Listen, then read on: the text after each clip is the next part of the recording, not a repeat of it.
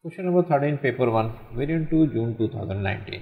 Expand and simplify x minus 3 whole square. First, uh, rewrite the expression. Actually, it is x minus 3 to the square, and it is quite easy. We can apply the formula of a minus b to the square for the expansion. So, it can be expanded as a square minus 2ab plus b square. So, a may be considered as x and b is as 3. So, we apply the formula and x become x square minus 2 is the formula and the a is x and the b is 3 and the plus b square is 3 square. Further it can be written as x square minus 6x and plus 9. 3 square is 9. So, the expansion of the x minus 3 to the square is x square minus 6x plus 9.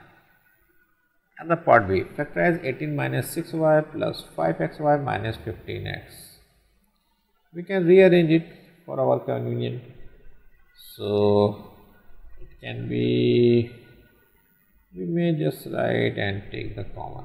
We do not need to rearrange it in this expression most of the time we need it but in this uh, case we can do it without uh, rearrangement. So 18 and 6 y we can take 6 as common and the remaining is 3 because 6 multiplied by 3 is 18 and the minus y is remaining here because 6 is taken as common.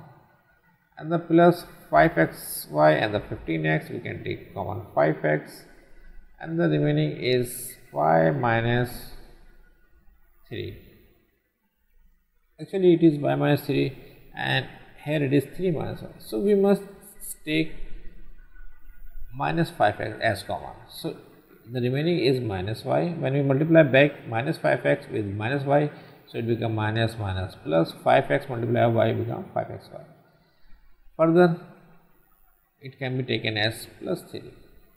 So, when you multiply minus 5x with plus 3 become minus plus minus 5 3 is a 15 and x is there so that we can take common 3 minus y from next step.